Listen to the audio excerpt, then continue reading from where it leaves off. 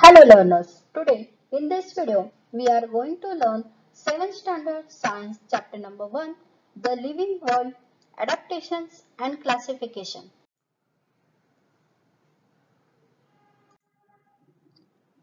The living world comprises of different kinds of plants and animals.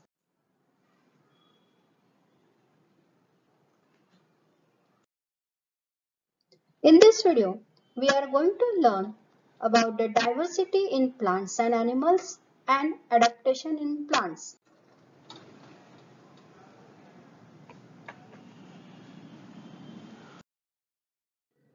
Now let's focus on the point diversity in plants.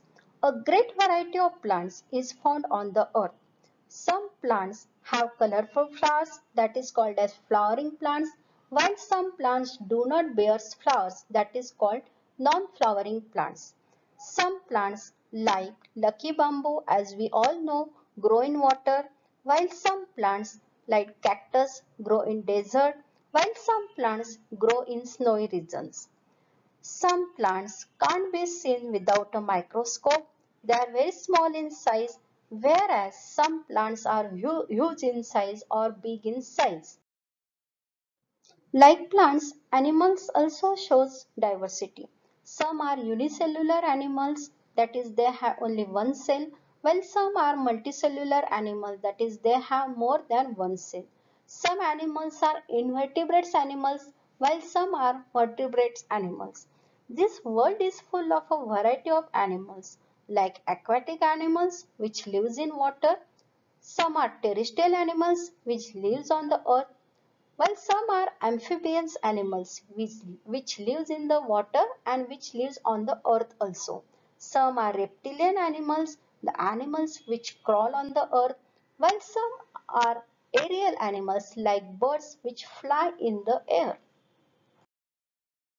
Why I am telling you about all this? Because all these get count under living world.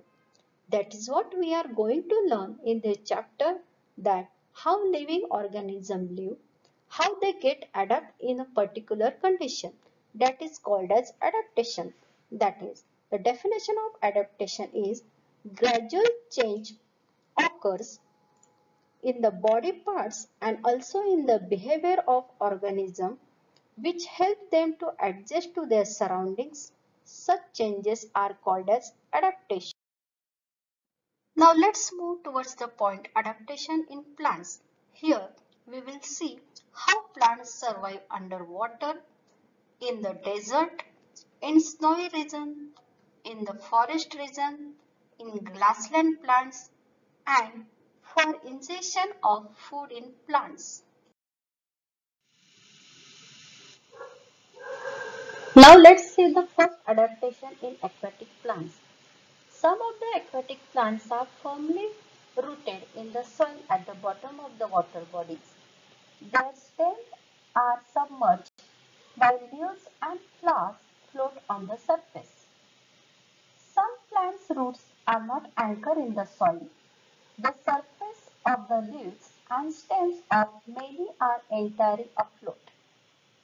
All aquatic plants are covered with a waxy layer and air space inside the stem and leaves, adapted for floating. Leaves of some aquatic plants are thin and slender like a ribbon. This is an adaptation to withstand fast currents of water. Now we will see the second type adaptation in desert plants. Plants and animals living in the desert need special adaptation to survive in the harsh environment. Many of the fascinating features of desert plants are adaptations, characteristics that help the plant survive in its harsh environment. Desert plants have two main adaptations. The first one is ability to collect and store water.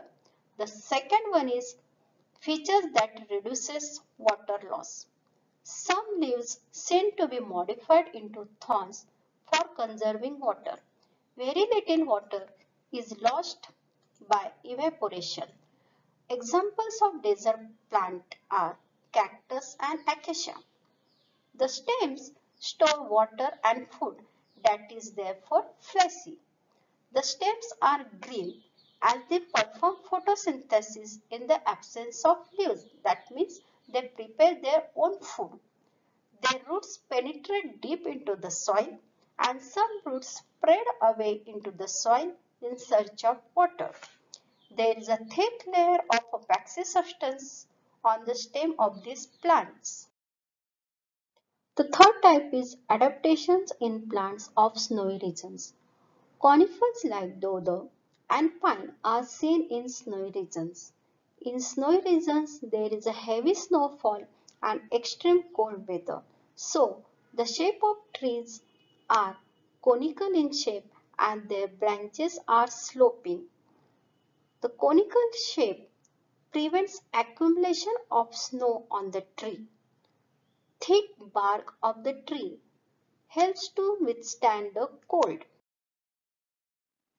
The fourth point, adaptations in plants of forest regions. All the plants compete for sunlight tree goes tall to capture the sunlight and climbers and vines grow with the support of trees. A diverse variety of plants, trees, herbs and shrubs seen in the forest. Climbers have adapted by having springs like tendrils with which they seek support from host tree. Fifth adaptation is adaptation is grassland plants. Bushes and grasses of diverse types are seen in grasslands. First, meadows are found in plains and hilly areas. Soil or erosion is prevented by fibrous roots of grasses. Very tall grasses are seen in the equatorial region. Various types of large animals take shelters in these grasses. Large animals like tigers, elephant, deers remain hidden in these grasses. Very short grass grow in cold regions. Smaller animals like rabbits are seen in this grass. Last type of adaptation in plants is adaptation for indigestion of food in plants. Students, have you ever observed the adaptation in the parts of plants like potato, groundnut, grapevine, beet, bitter gourd, onion and other plants in your surrounding? Yes you might be find that most of the plants are autotrophic. That means they prepare their own food. While some plants are parasitic because they are leafless, leafless and can't perform photosynthesis. They depend upon the other plant for their food. The other plant on which they depend for the food, that plant is called as the host plant. Example of this parasitic plants is dodder or cuscuta.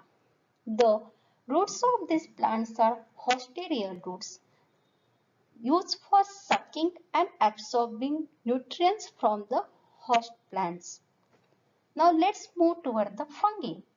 Fungi is the white color cotton ball. It does not have chlorophyll and can't perform photosynthesis. Fungi obtain food from the starchy foodstuff like bhakri and bread. They have root like fibrous for absorption of food.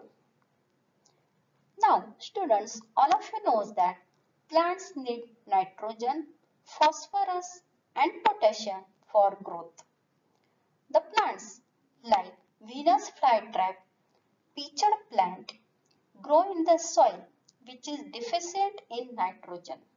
So, how they will fulfill their need of nitrogen? They will fulfill their need of nitrogen by consuming insect. These plants are very colorful and attractive so that insect get attract toward it. Once the insect get attract toward it, these plants hold that insect and hold them and captive. Thank you.